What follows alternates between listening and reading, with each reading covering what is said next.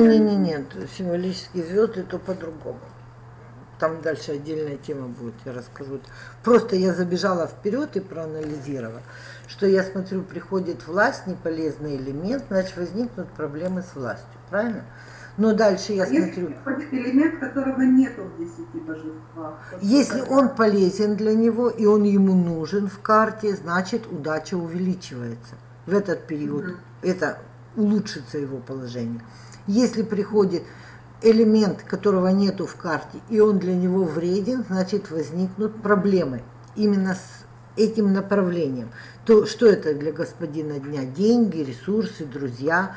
Допустим, стоят друзья, да? Значит, мы можем Мгм. сказать, что, возможно, в этот период времени у него будут какие-то проблемы с его друзьями или там с его сотрудниками. Понятно? С братьями, сестрами, с какими-то. А если приходит, допустим, это элемент денег для него не полезный, значит, мы скажем, что у него будут финансовые проблемы какие-то возникнут. Мгм. Потому что вот в столпах удачи пришел этот момент. Когда случаться? Смотрите, дальше мы смотрим следующий момент.